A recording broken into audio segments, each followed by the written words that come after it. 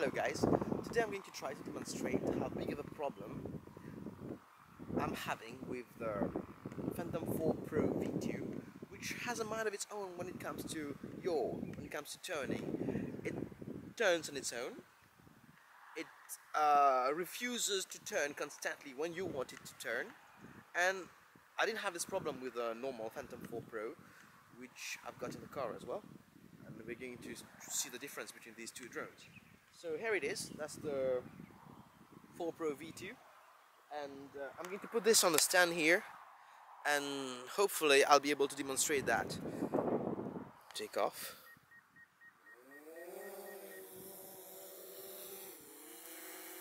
Okay, so far it's stable. Let's go a bit higher.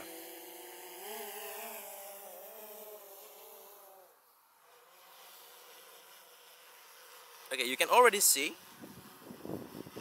that it's turning on its own. I'm not doing anything, my hands are here. It is turning on its own. Okay, say if we go forward.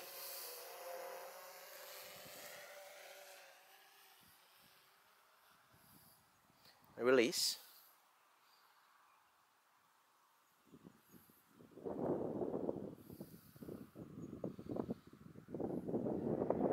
Now we don't have any kind of motion, that's fine. Let's come back.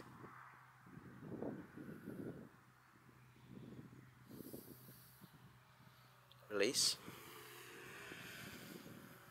Okay, last time I had some kind of uh, turning movement right after releasing the stick. It just stopped and turned around quickly without me asking him to do it, asking it to do it. So a bit higher up.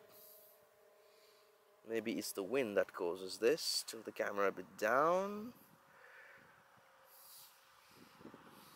Okay, it's a bit too bright now. Okay, let's do this again. Forward. See, it just turned. It didn't go straight forward. It made a turn first. Release. Another turn.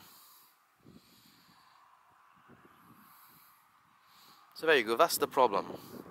And say for example that I need to keep this tree in focus. See there's a tree there. Right. There's a tree that's centered here. All I want to do is to go away from it but keep it centered. It just won't do that. You see? It's not centered at all. Obviously, I would have had to tilt up. Okay, let's try that again. Let's let's do that. It doesn't keep a steady uh, cap. How do you say that in English? No idea. Okay, I'm going not going to touch that other control unless now that I'm putting it in the middle again. Okay, I'm just going to play with the up and down so I can go back and keep it centered on the on the tree. Right now you can see it's already turned. It's already turned on its own. And when I release it goes back to where it was. This is crazy. There. Tree centered. Perfect center. I go back. Move sideways trees goes to the right. How can you explain this?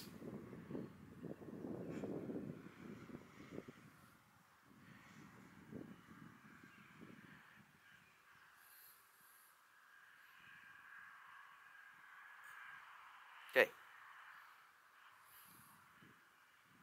Again. Stun it. Stay. Stay. Okay. Back. It's still still turning. Stop going back in a in a straight direction. The tree is on the right. Stop. And then the tree is centered again. Okay, let's go forward. Now the tree goes back to the center.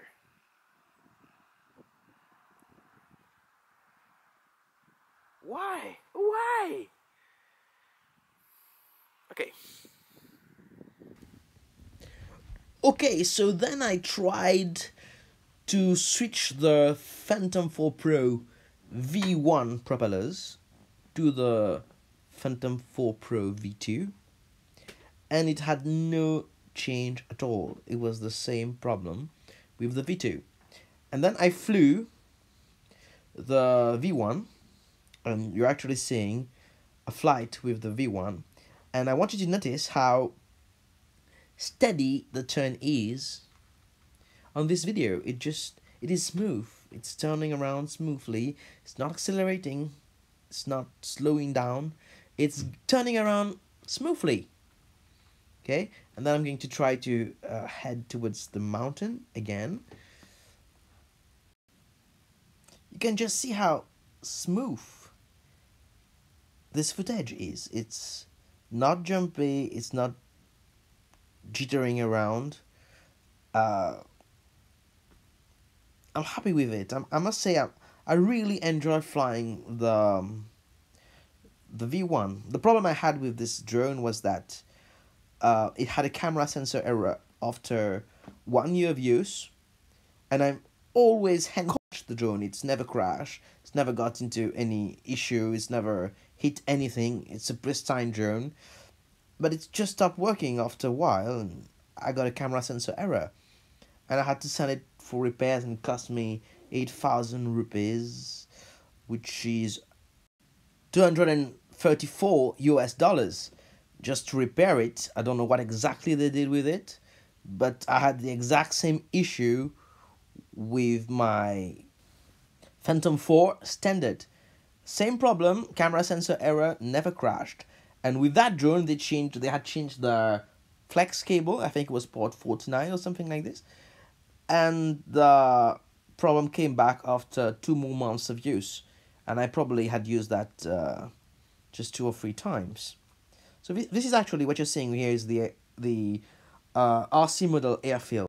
And it's just like 10 minutes from my place. Pretty cool place if you ask me.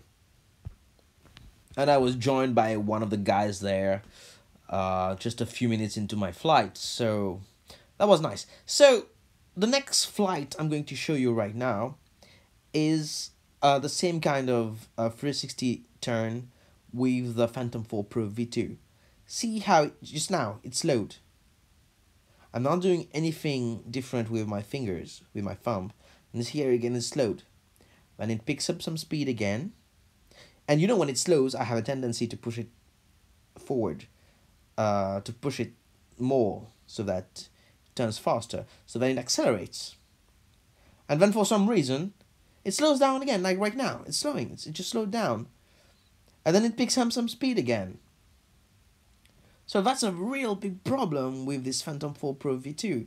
And I really hate flying with it. So uh, if I need to get rid of a drone, I'm probably going to get rid of the V2 one and keep my V1. So there you go guys, thanks for watching and let's see how how we can put some pressure on DJI so that they can fix this. Because it's ridiculous. Look at that, come on.